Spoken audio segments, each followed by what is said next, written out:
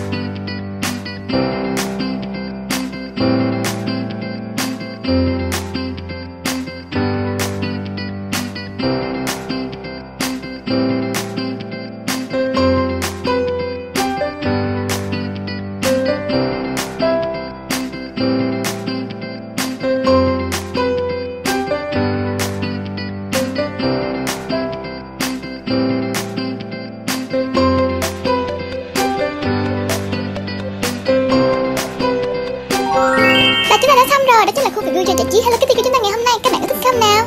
Chúng mình còn rất nhiều video trang trí nội thất Hello Kitty này từ của từng nhân vật luôn. Thì các bạn hãy xem những video này của tụi mình nhé. Nếu các bạn thích video này, hãy cho tụi mình một cái like. Và nhớ đừng quên đóng nút